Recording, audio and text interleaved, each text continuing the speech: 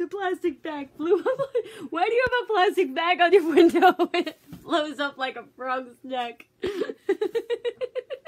oh shit, Jesus Christ.